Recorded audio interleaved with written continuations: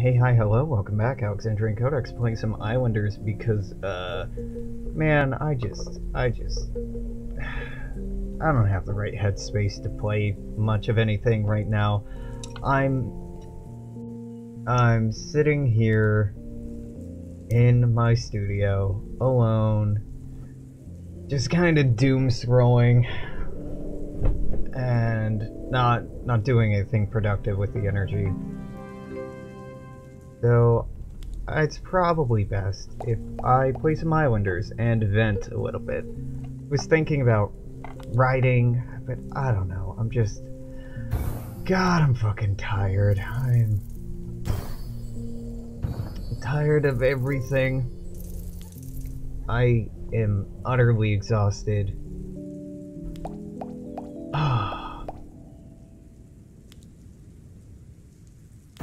Today, this is this has been a, a shitty week. Uh, for me personally, for a lot of people in general, for me personally, because after being on unemployment for five months, the Washington State Unemployment Office decided that I was never accepted on unemployment in the first place and that I would need to retroactively pay back everything that had been paid out for the last five months. Uh, their explanation for why was two sentences long and not clear at all, just that I quit for a reason that they didn't consider good enough. A good reason. Uh, even though the reasons I quit do qualify as good enough, they just, for whatever reason, decided eh, not good enough. So I had to uh, appeal that, which will be resolved in a hearing. But the fact that it took five months for them to decline me in the first place when I thought I was accepted probably means it's going to take weeks or months to get to the point where there's a hearing. And I'm I'm on one hand, I feel very strongly about like I'm in the right here. But on the other hand, I know that being in the right in the United States does not have anything to do with winning out in court winning out in hearings, winning out in settlements, winning out in our judicial system has very little to do with right and wrong. So part of me is like, ah, you know, it'll get resolved. And the other part of me is like, it won't get resolved. I'm probably gonna get fucked by this. so that that kind of sucks, right? And that's that's been making it very hard for me to focus on anything else. I've been fixating pretty hard on that because, you know, I have I have like 8 grand right now and that should be enough to get me through the end of January before I am eating through my savings. So I'm I'm all right. But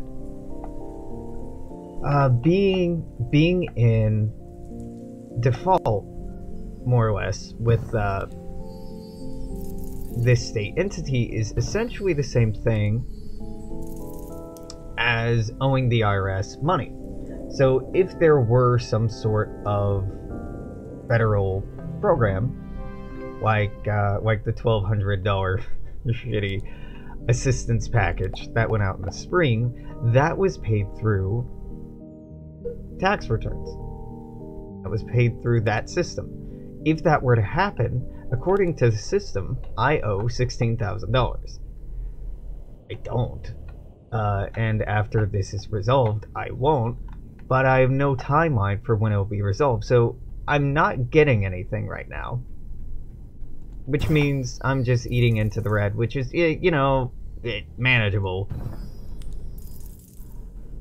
And even if there is something outside of unemployment that happens before this is resolved, I'm probably not going to be able to get it because of this stupid miscommunication. Now, I'm assuming it's a miscommunication. I'm assuming it's just some pedantic thing.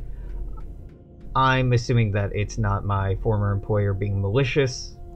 Because, I mean, it, they could be. I work for an HOA.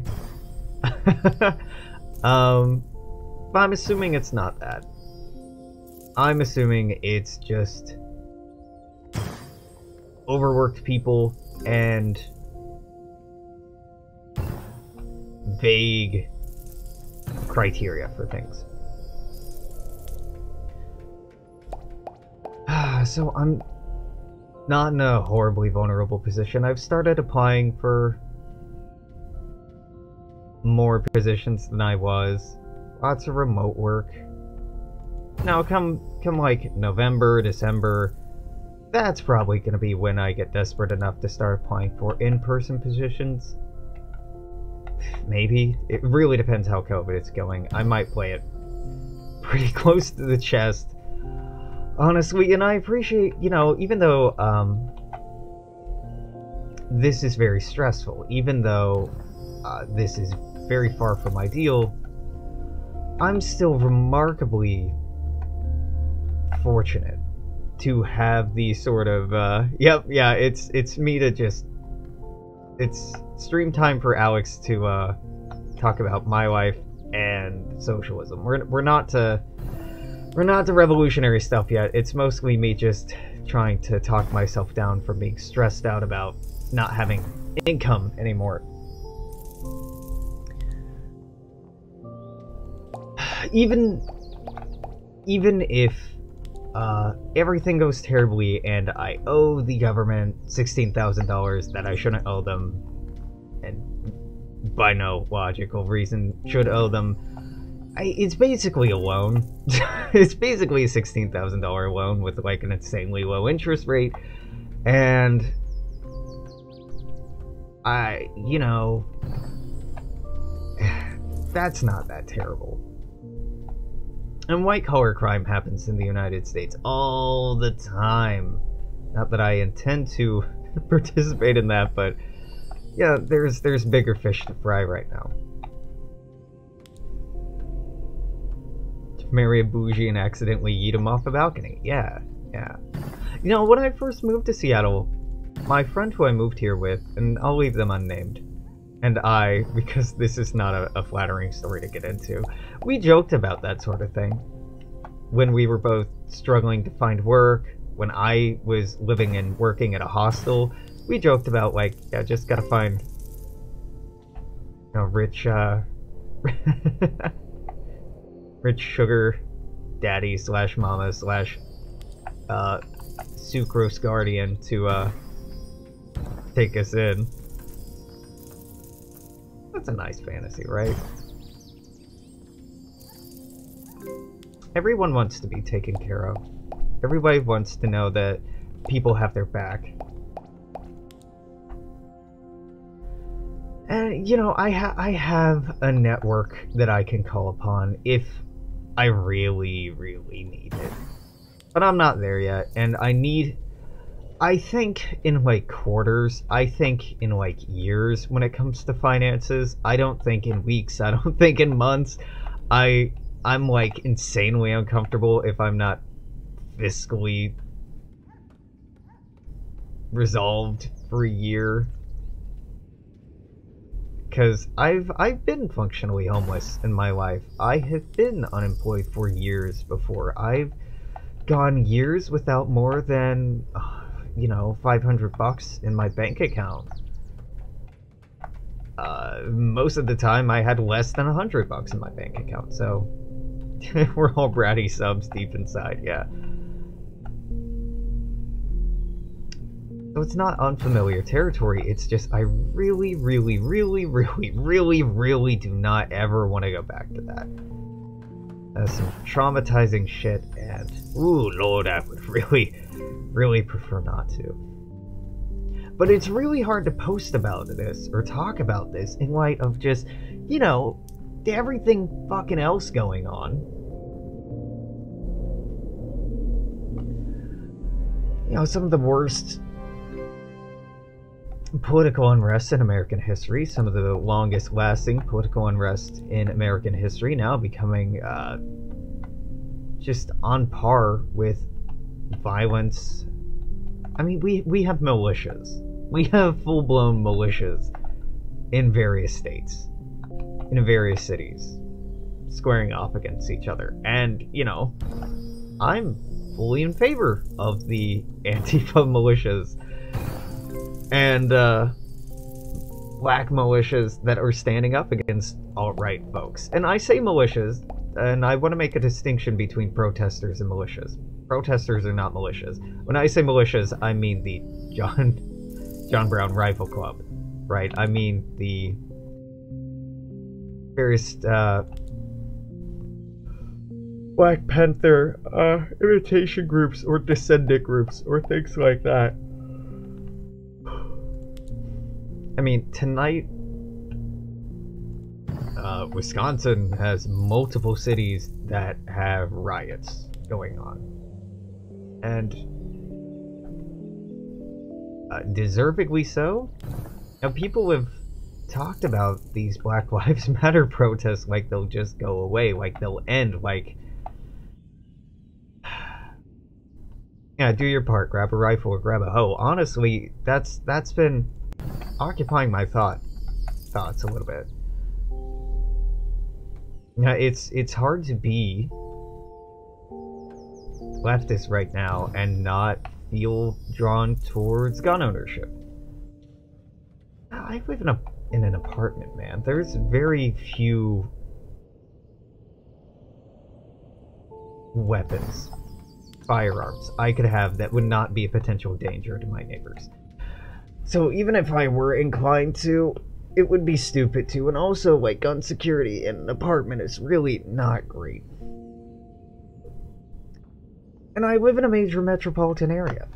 So, uh, as far as growing stuff goes, I don't really produce that much.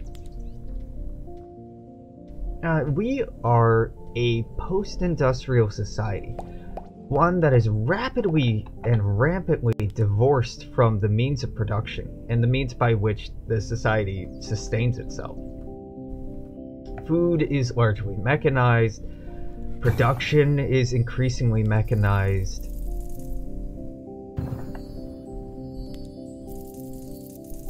You know, mutual aid is uh, is a beautiful idea in theory, but mutual aid is kind of a fantasy so long it's tied to a capitalist means of production. So long as it's tied to someone somewhere along the down the line is making money and donating money from capitalism, from participation in or exploitation by capitalism.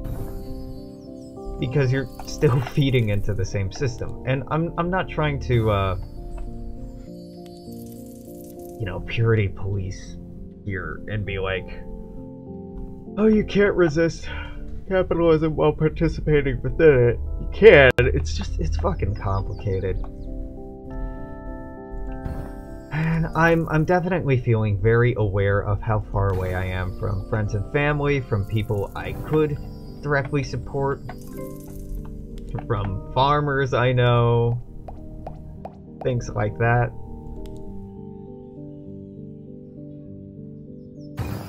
Ah, and it's very hard not to just get wrapped up in big doomer energy, because, like, it's really, really, really, really, really hard to imagine how things will get better. like, I really don't think they will. I, I really don't think they will anytime soon. Yeah, yeah, that's a nice thing about Argentina. I mean, to be fair, Washington State is a massively agricultural it has a massively based uh, agriculturally based there we go economy uh, eastern washington produces a lot of food but it's also the conservative part of the state.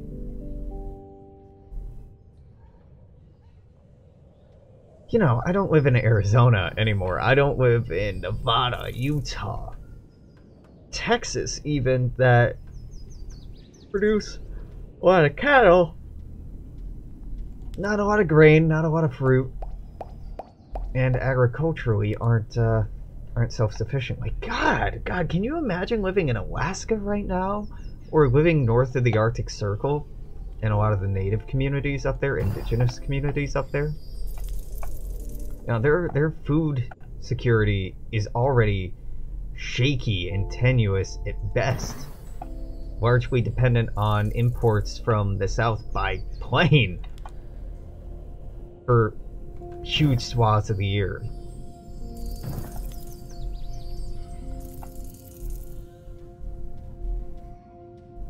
So yeah, I'm in a lot of ways.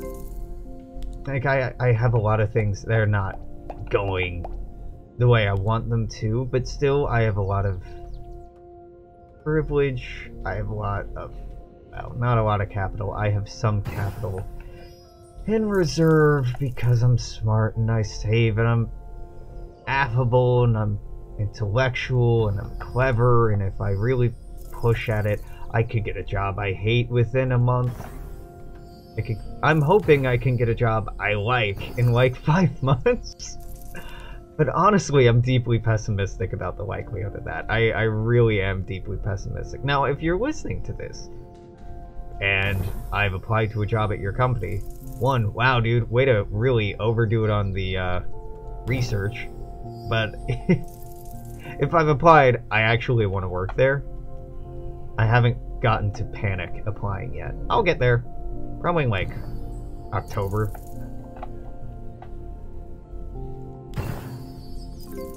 But not yet. Not yet. Um, yeah, fuck, I don't know.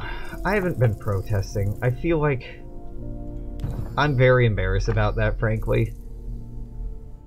But, like, I don't... I've been having a hard time seeing what good it's doing here in Seattle. Like, what's the fucking point is kind of where I'm at, and I know that's not productive, but I really don't believe that the protests are doing much. Um, because the uh, the very, very, very limited cuts that the city council did sign off on, the mayor just vetoed. And it had a veto-proof majority, but they haven't gone through the process to pass it anyway. So removing the mayor from office is really removing Jenny Durkan from office seems to be like, oh, okay, this thing we have to do next. And that's like a six month process to get her out. Like, the first step is already done, and now petitions have to go around to show that there's popular support, and at least 50%, a number of people equal to 50% of the people who voted or voted for her need to sign saying that they want a vote of no confidence and remove her from office. And then she'll have a chance to push back against that in court. And God knows that can drag on forever. And it just really doesn't feel like anything meaningful is going to be done anytime soon. So, the Seattle protesters, and really the protesters overall, who I support the most, are those who are taking direct action, if you will. I'm not really in a place where I can participate in direct actions. I don't have a community here. I'm a transplant, and a fairly recent transplant, and uh, honestly, a fairly reclusive transplant at that. For a lot of reasons, mostly they're excuses, but we can call them reasons. Yeah, yeah, yeah. You can push back a vote of no confidence through the judiciary. You can push anything through the judiciary here in the United States. You can appeal fucking anything. And get it caught up in court for years or decades if you want. That's that's the American way of life. We love our needlessly complicated judicial system. Like, even here in Seattle, we had a, a tear gas ban. I think we still have a tear gas ban. The tear gas ban was temporarily suspended thanks to a judicial authority. They can just do that. They can override popular law, they can override essentially anything they want on tenuous legal grounds and then argue about if it was legal or not for months or years later.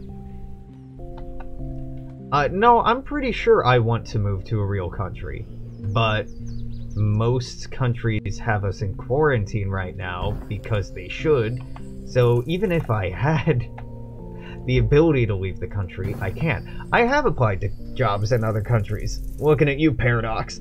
Um, and I will continue to. But, you know, who the fuck wants to hire an American in the midst of this pandemic? I mean, my, my resume is not inspiring, to be frank. it really isn't. Like, as a candidate, I shine if you talk to me. If we actually have a conversation about whatever it is the work does, I can demonstrate that, yeah, I know what the fuck I'm talking about. But because I didn't go to school for whatever specific degree, or I didn't intern for yada yada, it's been a lot of entry level positions for me. And that's just the way it goes. I really don't want to be me centric. I know I am. Because, uh, I'm like super anxious and depressed, and venting helps with that. I, I've been playing a ton of games lately, but like arc particularly, I'm really not enjoying it. I'm like actively not enjoying it. Parts of it I'm enjoying, but like I don't like sitting in a Discord call and just talking about a game and pretending like everything's okay or normal, like pretending like the world's not on fire. I don't like sitting around having calls with friends and not being like, "Hey, so what are you doing about the protests?" I like a lot of my friends live in very small or small cities in the Midwest in the United States, so they feel like there's nothing to do. That everything going on is far away and there's no popular support where they are, and so all they can really do is go through the motions and keep their heads down and hope it gets better. And I don't like being in that headspace. I don't like being caught up in that headspace. I don't like being roped in that headspace because it it's unproductive and it's sheltered and it's it's incredibly privileged and useless. It's so useless. And I don't know, there's not a lot I can do now where I am but God, I at least want to talk about it. I at least want to be mad about it. I at least want to not be the one person in the call who every day is like, "Oh, did you hear about the shooting here?" and everybody's like, "No," and I'm like, "What the fuck?" You need need to be more proactive in educating yourselves and following better news sources and following activists on Twitter and Instagram and Facebook and Twitch, YouTube, just all kinds of different social media. Like,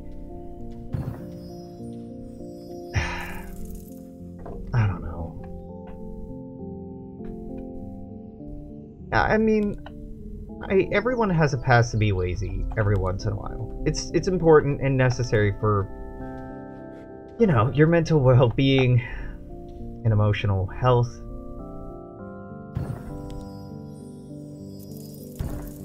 But in Indiana, particularly, where I grew up, there's such an attitude of like, well, nothing I can do about it. We just live in too conservative of an area. We just had to, just gotta get used to it and accept it, or just get through it. Like, things suck. And that's the way they are. Like, I'm from a part of the country that's just so resigned to things being terrible that they don't have the spirit to even try to change anything. They've just accepted that life sucks and they're trying to just enjoy what parts of it they can. I don't know. It's it's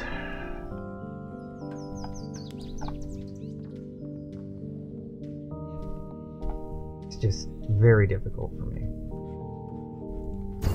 And I love these friends and I love playing games with them. But like part of part of maintaining a friendship with me, a healthy friendship with me, is engaging in political discussions and dialogue.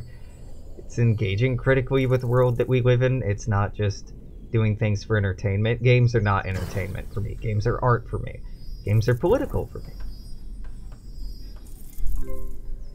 if things suck, then fight for the freedom to suck dick. Mahatma Gandhi. And that's totally a Gandhi quote. I believe that was that was in the God, imagine an alternate universe where Gandhi was actually like a, a cool dude. Not like he was he was rampantly homophobic, right? He maybe not well, why why am I remembering Gandhi being problematic but not how he was problematic? It was sex related, can't remember how.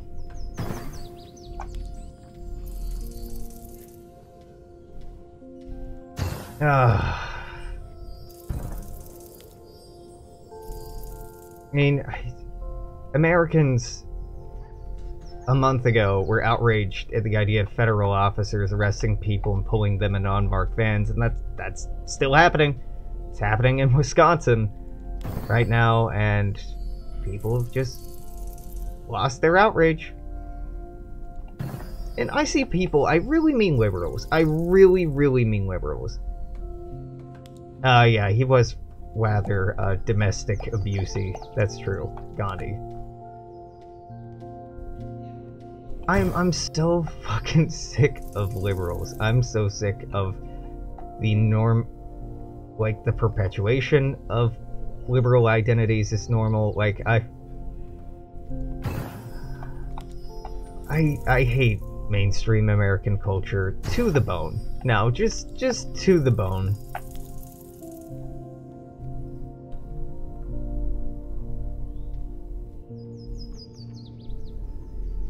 Like news stations covering the Republican National Convention. Why? Why are you doing that? If you like don't politically agree with them, why are you covering it? Because you're an independent news source? No, you're not. No news is independent.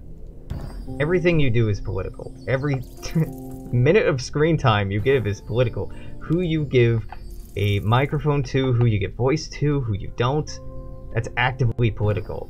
Like NPR right now, just going on and on and on about the fucking uh, conventions and just being silent about the protests is because desperately the corporate uh, political machine in this country is trying to recontextualize everything going on as something that you can just vote through.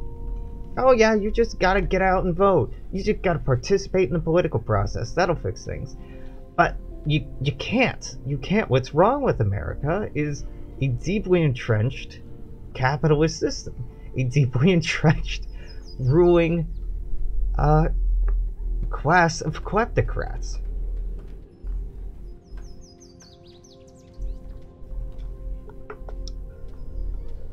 Honestly, this might sound horrible, but unless the US goes through all the shit they put countries through, liberals will literally never understand when to stand their ground. That's not terrible to say.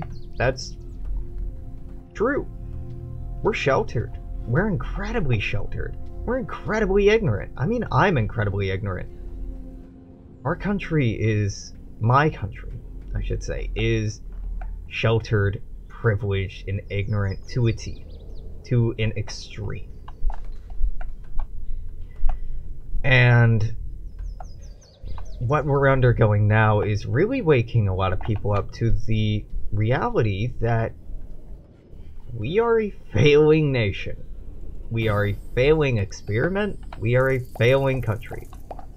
In many, many, many, many ways.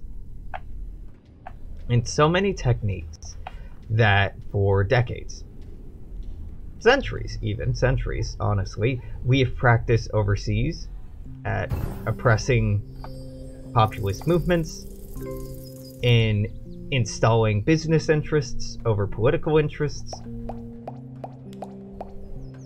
in violently taking down individuals before they can organize their communities, in arming militant groups to do their dirty work for them. All of these things are coming home to roost right now. Now, for decades, really, it uh, a lot of this started started in in full form in the Gilded Age, in the late 1800s. In the late 19th century is when a lot of this started for the United States, where we began to practice our craft. Smedley Butler was the first one to, one of the first ones, I should say, to really write about it and really look at it, critique it, in his short book, it's a good book, called War is a Racket. Talking about he fought wars for American business interests in all these different countries and saw time and time again how all of these wars he was fighting for freedom and democracy and liberation and protecting Americans was all about business interests, was all about making money for fruit companies, for trade companies, for whatever else.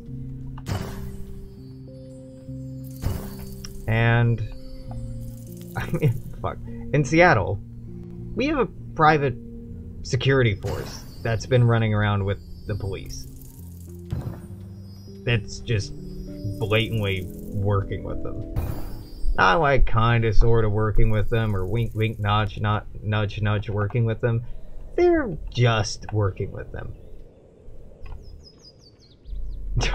And we're not unique in that. We're really not unique in that respect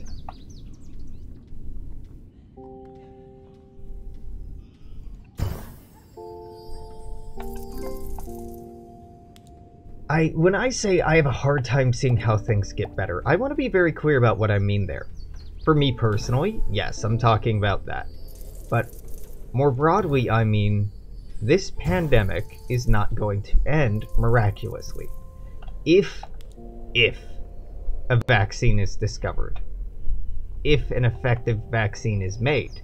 And again, this is an if because some diseases, like the flu, are so uh, mutagenic that one year's vaccine won't work the next year. COVID has proven already, COVID 19 has proven, and uh, similar years, uh, diseases, similar diseases in years past have proven that this is a highly flexible microorganism. It's very, very capable of rapid, unexpected evolutionary leaps.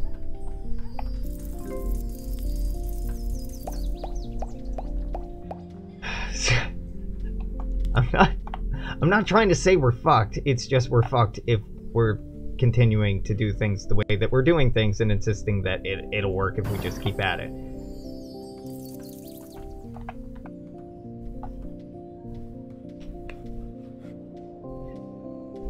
After Italy, Garibaldi went on to fight dozens of wars around the world, including early Argentine Uruguayan civil wars on the unitary side. Yeah, I kind of knew something about that. I don't know that much about Garibaldi, to be honest. Italian history is not my strong suit. I've I've learned modern Italian history broadly like 3 or 4 times, but it's very it's been very difficult to retain for whatever reason.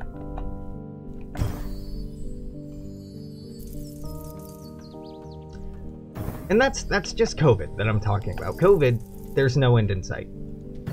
There's absolutely no end in sight. Thousands of people are dying every day, and that's not declining. And given the economic conditions that we're putting people in, how could it possibly decline? Because people are being pushed into working when they shouldn't be working, at jobs they shouldn't be working, that aren't safe, and they're being forced to participate in communities that aren't safe. How could it be going any other way, right? Okay, so lots of businesses are closing, and have closed, and are staying closed probably forever because of COVID. So those are lots of people who are never going to be employed by those same employers. And we, we can really look at the 2008 financial crisis for what's going to happen next. What's going to continue to happen is businesses and oligarchs will consolidate wealth. They will buy up failing companies, they'll buy up abandoned property just to get more capital, get more wealth, get more assets and it will continue consolidating ownership in fewer and fewer hands, leaving more and more people actively dispossessed. And I don't mean like, oh, they're lower class, oh, you know, they're working minimum wage. No, I mean homeless. We've had tent cities in the United States for over a decade now. I mean, we've had tent cities for a long time, but we've had tent cities in most major cities in the West Coast for over a decade. And they've just gotten bigger over time. There have been lots of initiatives about tiny homes, about getting people in houses, and you know, helping out homelessness, people affected by homelessness. And, you know, uh, to some degree, there have been some successes. But homelessness still exists. And with the looming crisis here in a few months, well, here in a month or two, really depending on what the federal government does and what state governments do, with unemployment drying up for so many people, or never manifesting, with no federal aid program happening at all,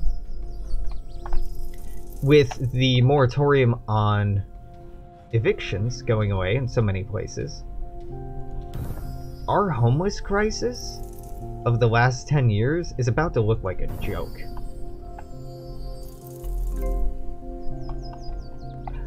It's it's about to look like a pale imitation. Now people talk about Americans talk about, well, this isn't a real depression. If it were, where are the tent cities? There have been tent cities for a long time, and they're about to get a lot bigger. Just because you don't see something on the corporate media platforms that you engage with doesn't mean that they don't exist. It just means it's in somebody's interest not to show it to you.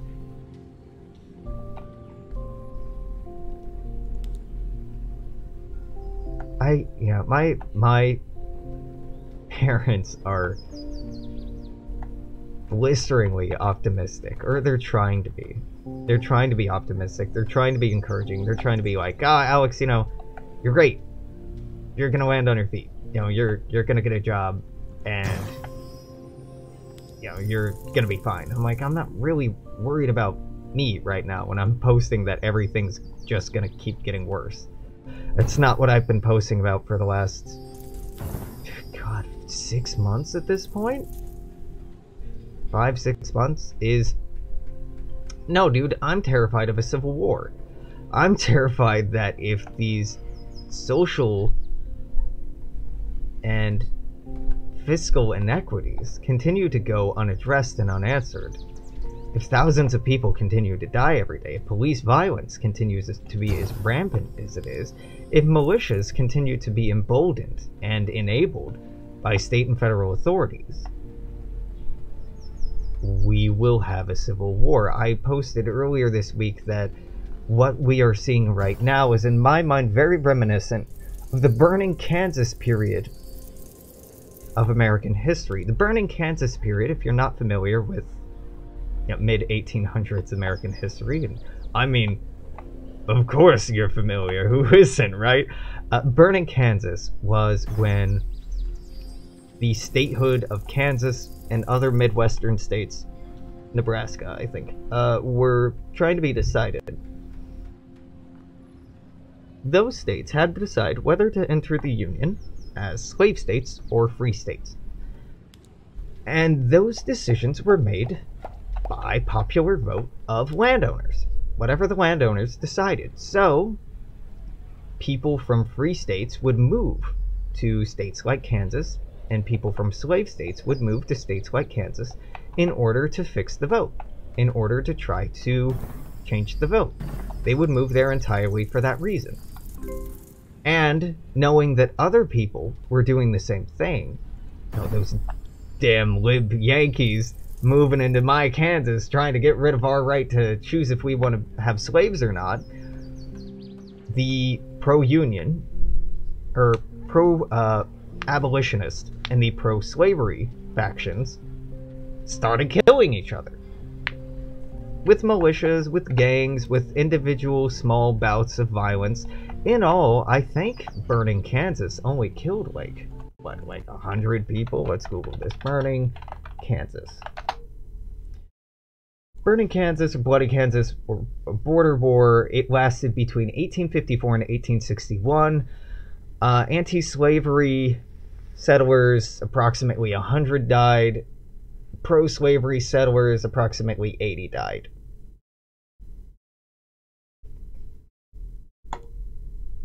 Roughly. I mean, these are very, very rough numbers. And that was over the course of, again, fair part of a decade we're starting to get there. We're really starting to get there. People think about the Civil War like it just popped out of nowhere. No, there were decades of resentment and violence and escalation leading up to that point. We're not just gonna just next month be like, okay, everybody pick a state line, let's go. No, it's these these ties that have bound us together start getting loose. And we start having more and more differences than we have similarities. And the people who are desperate, the people who are hungry, the people who are really in need get more and more desperate. And that was a civil war of states. Right?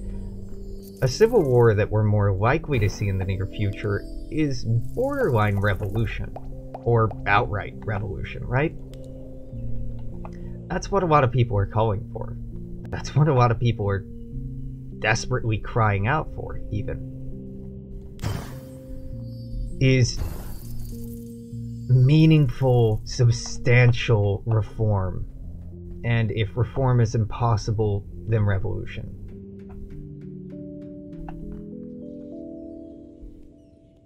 it's it's amazing to me. It's actually amazing to me how deeply in denial Democrats are about this. Republicans, I feel like uh, at least some of them can see it for what it is, and they're reactionary fascists. But I think a lot of them least see which way the wind is blowing. The Democrats are acting like,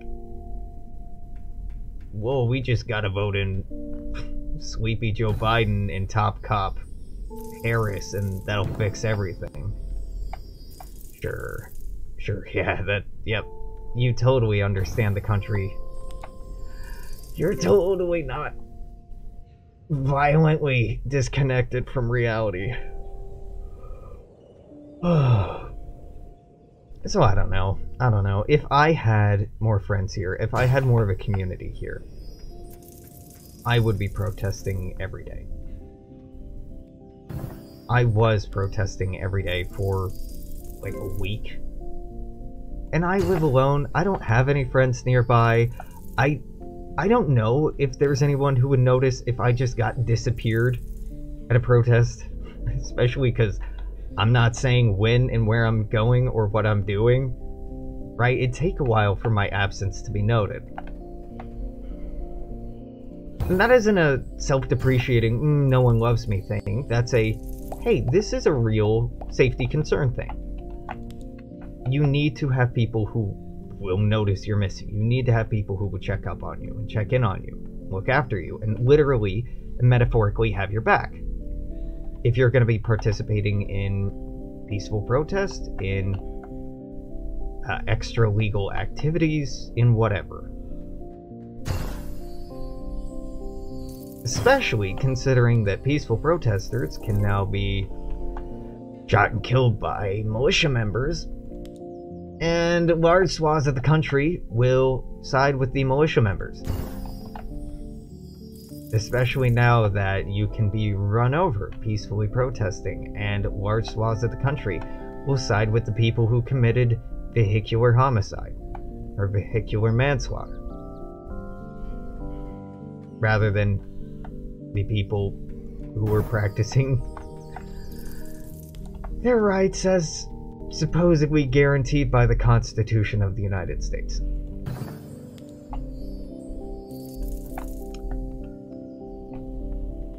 It's a hard time to be making comrades, right? Because any any leftist with good sense should be should genuinely be on high alert about infiltration, about people they don't know, about outsiders like me who come from outside their community and want to participate in uh, their communities, who want an in to their community, who want inclusion and participation.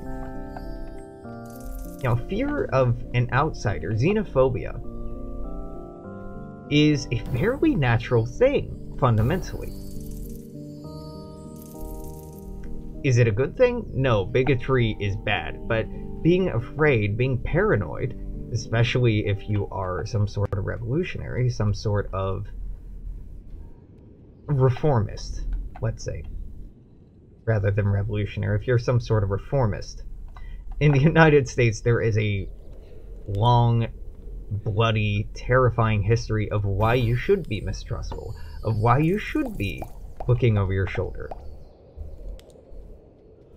And going back to the Pinkerton uh, agencies, and again, the 1800s,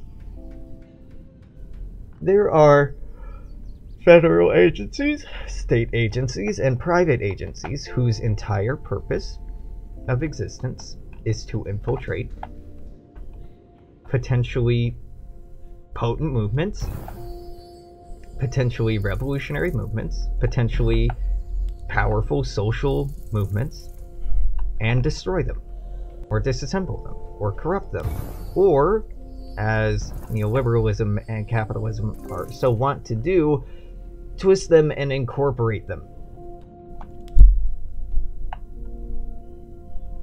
Like pink hat feminism. That's a great example. Like Pride merchandise. Like Pride branded fucking everything that you can get one month out of a year.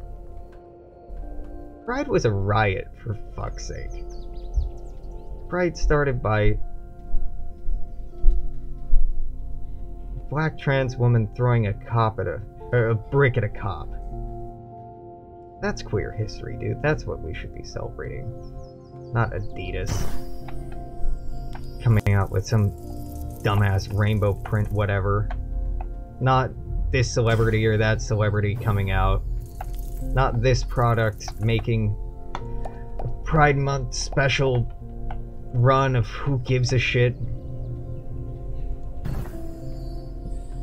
The commodification of something is really the death of it.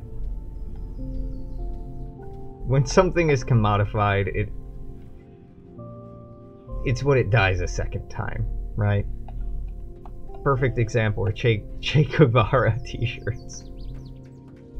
Or Malcolm X t-shirts even.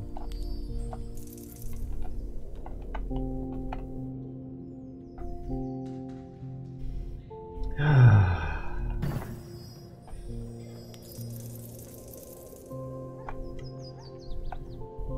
just, I want to be able to do something.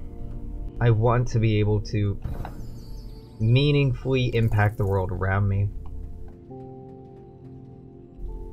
good.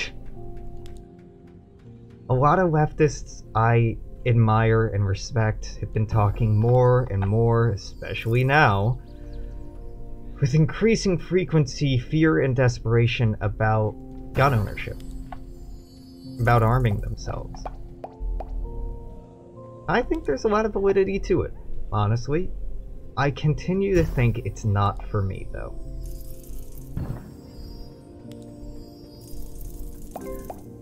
Uh, you know, I could change my mind. I could be persuaded. I could. I really could. If militias keep killing protesters, if cops keep killing innocent people, if nobody is punished, if no justice is had, if economic conditions continue to get worse, if evictions start picking up, if there's a call for it, dude, I don't know. Maybe.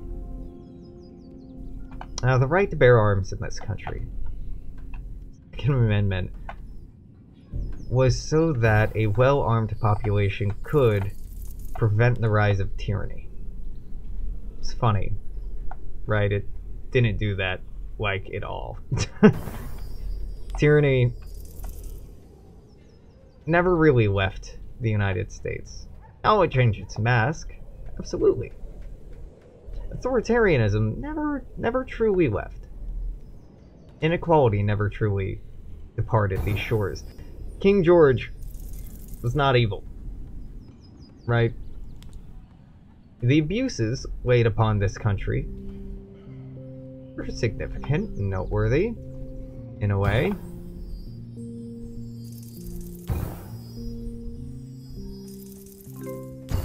But they weren't any injustices we didn't then issue upon ourselves. I mean, taxation without representation? We do that.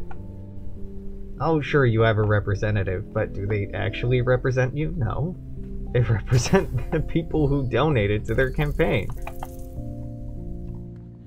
Uh, Americans have very little say in what ultimately happens to our country and what decisions are ultimately made and what policies are ultimately enforced or embraced or ignored, what reforms are made or aren't made. Oh, we can write our congressperson, our representative. But legally, they're not obligated to listen. They're not obligated to do what we want. So, the inherent threat of violence or force or power in the Second Amendment is supposed to reinforce that voice, reinforce that agency, reinforce and push back against overreach of federal agencies and federal power. But, you know, I'm not an anarchist. I have a, a lot of good folk that I admire that are anarchists. Not me, dude. Not me. Um, but even I can inherently recognize the problems with sort of any kind of government. God, I'm getting tired. I think I'll wrap up soon. It's it's not late, but I'm still waking up at like two in the morning most days because stress. Because you know the fucking fall of New Rome over here. if you are in a city where you have friends and family, where you have a community, and you feel called to protest, if you feel called to demonstrate, I encourage you to do so. I encourage you to do so safely. I encourage you to do so under the leadership and example of black leaders, black voices, I encourage you to stand in solidarity and support these protests and this movement in whatever way you can. If you are like I was on unemployment just scraping by or not even scraping by, signal boost. Share the news. make a point to read news from leftists and individuals actually out there on the ground, not just corporate news that send people to make a headline to talk about how riding is bad. Share what's actually going on with friends and family. Argue with them. Change hearts and minds, if that's all you can do. If you can protest, hell yeah. If you can participate in direct action, be safe.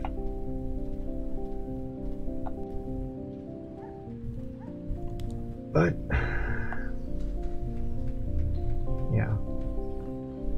Yeah, I...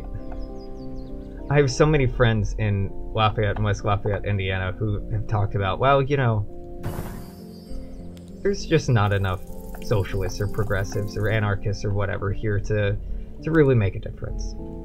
Now, there's too many conservatives. That I've almost gotten to the point where I have started a fucking local DSA chapter for them. You know, the DSA isn't like some revolutionary body, right? It's it's progressive. That's that's about it. It's good. Is it great? No, it's good.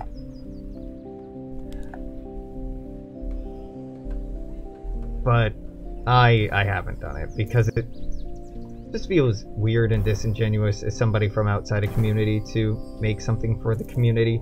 I really want to just grab my good friends from that area and shake them by the fucking shoulders and be like, what the fuck are you doing? Like, there are organizations you can join. There are organizations you can sign up with and organize with and collaborate with. Like, I, I have such a hard time understanding not feeling shaken up, not feeling like violently ill and sick and desperate and distraught day to day at what's going on. I ha- I have a hard time understanding how people can be comfortable just kind of sticking their heads in the sand and pretending that nothing is happening or accepting that oh, something is happening but it's not here.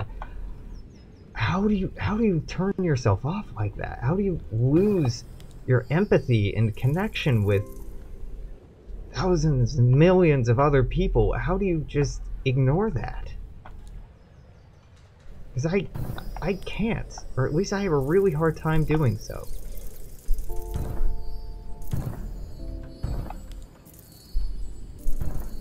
Not trying to flex as if I'm some sort of, you know, empathy wunderkind. I'm just a person and I care about people. And I don't understand how the hell we've gotten to a point where that's controversial.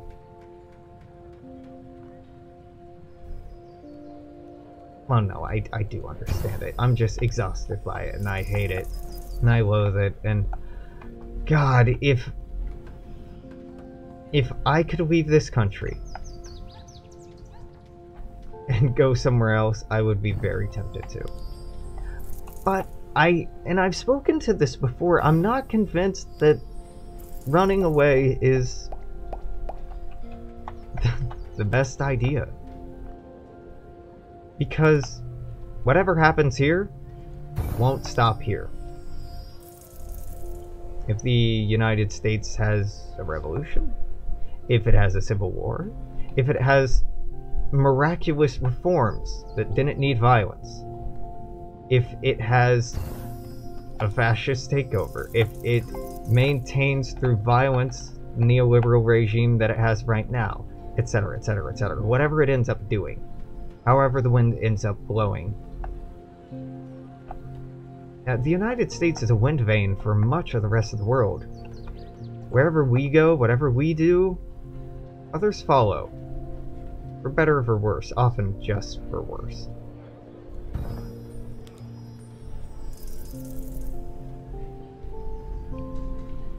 So I feel like packing up, running away, is just hoping that other people fight my battles for me. Other people do the hard political work for me, do the hard organizing work for me, do the hard protesting and politicking and living for me. I mean, what can be more American than that, right? Just the stubborn insistence that other people do everything for you and you reap all the benefit. And then get indignant when the benefit isn't exactly the way you like it and the color you want it.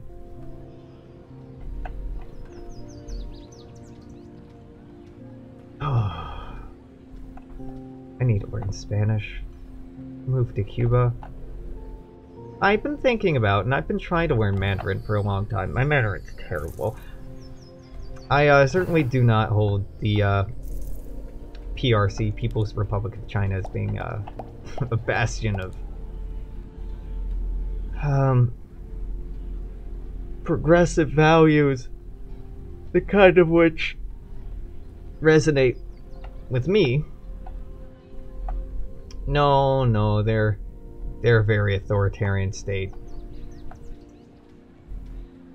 Um, but they're powerful, and they will continue to be powerful and influential probably longer than my country will. But Spanish, oh god, if I could just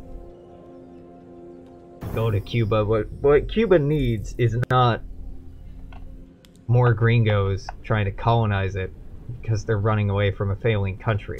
That's what happened with Spain. I don't think, don't think they want the Americanos coming down and being like, please Cuba, please take us in. Yeah. There's always Canada, but really, any way that the US goes, the Can Canadians are gonna go. We're just too economically intertwined. We're too geographically close. geopolitically intertwined. I have a really hard time imagining the USA going fascist and Canada not.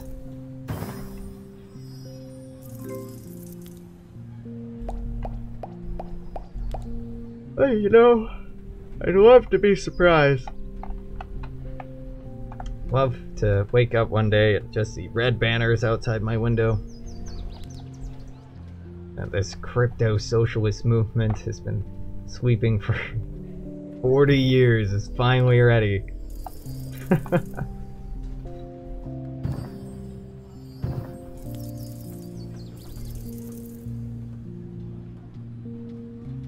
it's it's uh it's interesting to me how many this soft in small ways and this is probably the last thing i'm going to talk about i cut for the night uh, get off of here for the night. Small ways that media popular media in particular eats away at the validity of socialism, for example, and other uh, progressive, reformist, revolutionary causes. Like, uh, the new Modern Duty, Modern Duty, Modern Warfare, the new Call of Duty, is uh, Cold War focused. Reagan is like a benefactor in that. Oh yeah, no, no politics there. Nope. Or in the Umbrella Academy. With the promo for that being, in the first episode being, in season 2, that, oh, the Soviets are gonna take over and it's the end of the world again. Why do we, why do we gotta keep using the Soviets as the bad guys? Why not, oh, I don't know, look at the truth of the matter and realize that the Americans have been the bad guys for, like, ever. I I have such a intolerance for the use of Soviets as a knee jerk like oh yeah let's go fight the commies or Russians or whatever because it's nothing it's nothing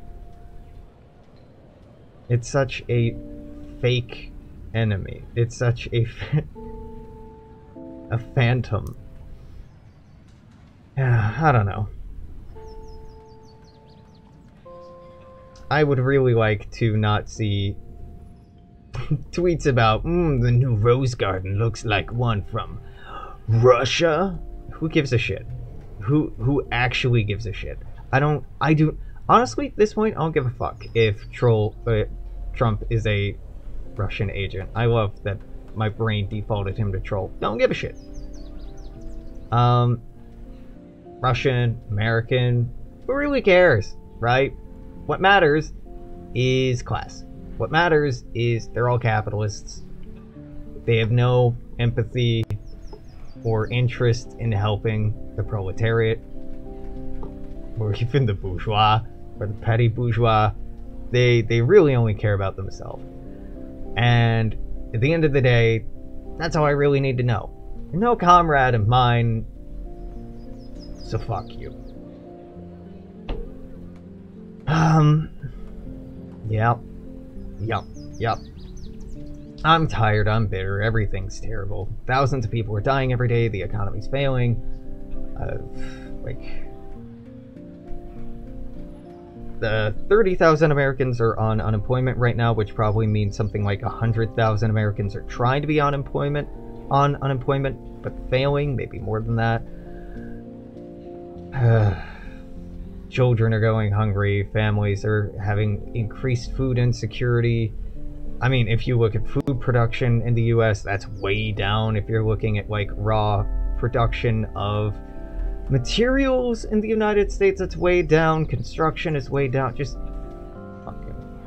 Mm, no, we're not gonna have a depression that's worse than the Great Depression. And it's just beautifully prophetic how uh, Deep Space Nine got this pretty much to a T.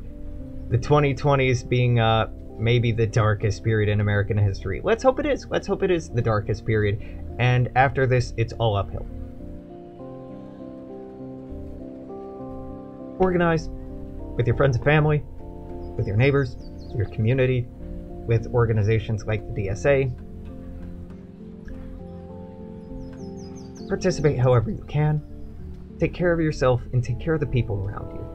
And until whenever the fuck I post something like this again, I'm gonna say toodaloo, take care, I will see you then.